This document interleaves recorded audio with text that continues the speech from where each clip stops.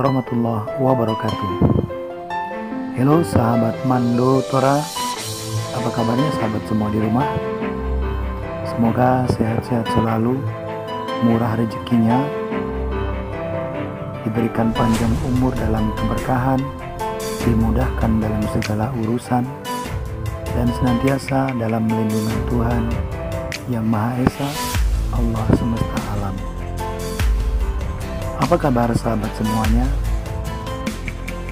Sahabat, video saya kali ini adalah merupakan video review dari cuplikan motovlog saya sebelumnya. Sahabat bisa tengok di pojok kanan atas yang berlatar belakang hitam. Nah ini, uh, sahabat bisa lihat. Oke sahabat,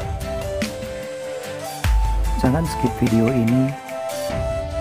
Karena video ini saya akan sedikit berbagi kepada sahabat Mando di rumah. Saya akan sedikit memberikan motivasi untuk sahabat di rumah. Semoga video ini bisa bermanfaat dan bisa menambahkan spirit untuk sahabat semuanya dalam memperjuangkan impian sahabat Mando pada video saya di depan ini, mungkin sahabat Mandu melihat, ya betul sekali, itu adalah merupakan video yang saya sisipkan pada acara pernikahan saya. Bukan saya ingin mempertontonkan pernikahan saya, kemesraan saya kepada pasangan saya, tapi lebih dalam dari itu. Sahabat bisa tengok di sana kita disekelilingi oleh orang-orang terdekat kita, oleh ibu kita, bapak kita ataupun ayah kita, kakak-kakak kita, paman kita, dan saudara-saudara lain yang ada dalam kehidupan kita. Jadi sahabat Mando, mungkin dalam memperjuangkan sebuah impian sahabat Mando di rumah mengalami begitu banyak halang rintang, mengalami begitu banyak cobaan yang tiada pernah terputus dan berhenti. Cobaan yang bertubi-tubi selalu kita hadapi. Baik itu kesusahan dalam berekonomi, kesusahan dalam menjalankan usaha, ataupun kesusahan-kesusahan yang lainnya yang sangat menguras tenaga, sangat menguras waktu kita, sangat menguras pikiran kita, dan tidak sedikit air mata yang tertumpah di sana. Sahabat, dalam menjalani kehidupan dan cobaan yang telah kita terima yang diberikan oleh Allah, Tuhan seluruh sekalian alam, mungkin berbeda-beda. Berbeda-beda macam dan bentuknya di sana, sobat. Tapi, apakah sahabat di rumah menyadari itu semua? Bahwa cobaan-cobaan yang kita lalui itu adalah merupakan tempaan hidup yang harus kita jalani. Ada banyak orang-orang terkasih yang harus kita perjuangkan, kawan. Ada orang tua yang harus kita banggakan, yang harus kita bahagiakan Jangan pernah berhenti dalam mengarungi bahtera kehidupan. Jangan pernah berhenti ketika kita menjalani suatu cobaan dan ujian.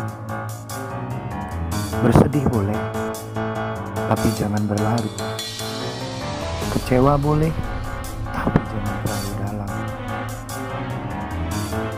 Atau bahkan mungkin kita mengalami gejolak-gejolak yang tidak nyaman, sama sekali tidak membuat kita nyaman di dalamnya itu sangat manusiawi kawan. Tapi apakah kalian tahu? Kita adalah tumpuan dan harapan untuk orang-orang terkasih kita. Untuk orang-orang terdekat kita. Dan untuk orang tua kita. Sahabat, cobaan dan halangan yang kita lalui tidak ubahnya seperti jalan yang saya lalui. Begitu banyak genangan air yang ada di depan. Begitu banyak lubang-lubang yang ada di jalan ini. Bahkan di samping pun tersibesit pohon dan ranting yang mungkin suatu saat mengancam kita, yang mungkin suatu saat bisa menjatuhkan kita. Tapi apakah sahabat tahu, ketika kita berhenti untuk menghadapinya, kita tidak meneruskan jalan yang kita lalui, itu adalah kegagalan yang terbesar dalam hidup kita. Kegagalan adalah bukan kita ber kegagalan adalah bukan kita tidak bisa menggapai impian kita. Kegagalan yang sesungguhnya bukan kita tidak bisa mendapatkan apa yang kita inginkan, sobat. Tapi, apakah sahabat tahu? Kegagalan yang sesungguhnya adalah ketika kita berhenti sebelum kita berhasil.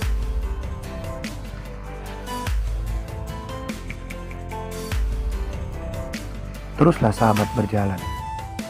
Jangan pernah menyerah dengan apa pun dan kondisi seperti apa pun. Jalan yang kita tempuh adalah merupakan suatu pendewasaan diri untuk kita menjadi hebat, untuk kita menjadi kuat. Dan sukses itu adalah hal yang begitu besar. Kesuksesan adalah milik semua orang Keberhasilan adalah milik semua orang. Tetapi tidak banyak sukses itu bisa kita gapai.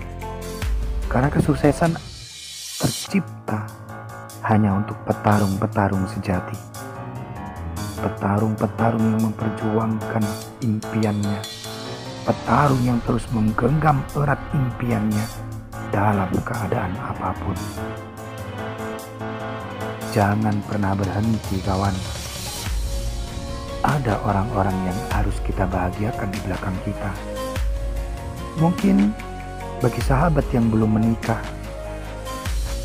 kebahagiaan itu harus kita berikan untuk kedua orang tua kita. Sudah cukup kenakalan yang kita lakukan. Sudah cukup kejelekan-kejelekan yang kita perbuat dalam kehidupan kita dan sudah cukup kita membuat kecewa kedua orang tua kita. Sekarang adalah saatnya, sekarang adalah masanya untuk kita bangkit, untuk kita berlari, memulai mewujudkan impian-impian kita. Karena sesungguhnya orang lain tidak pernah peduli dengan impian kita Orang lain tidak akan pernah mau membantu impian kita untuk terwujud. Karena impian kita adalah kita yang membuat dan kita yang harus mewujudkan. Mumpung kedua orang tua kita masih ada kawan, tengoklah, berdirilah di depan cermin. Berkatalah pada diri kita sendiri. Jangan pernah kita berkata apa yang sudah diberikan kedua orang tua kita untuk kita. Tetapi berbaliklah kalimat itu. Apa yang sudah kita berikan untuk orang tua kita? Mumpung beliau masih ada, buatlah beliau tersenyum. Buatlah beliau tertawa bahagia. Dan buatlah mereka memeluk kita. Seraya mengucapkan, Aku bangga denganmu nak. Aku bangga denganmu. Kau adalah anakku. Kau adalah buah hatiku. Terima kasih atas kebahagiaan yang telah engkau berikan. Berdirilah kita di depan cermin kawan.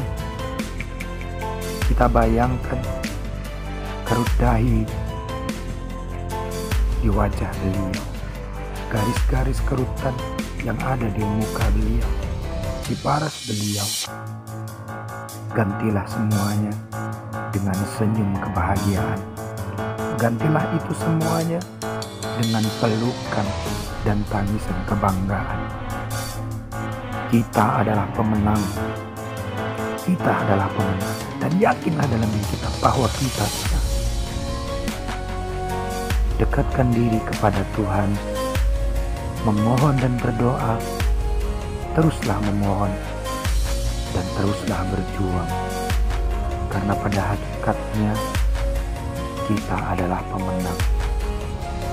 Kita adalah manusia biasa yang jauh dari kata sempurna.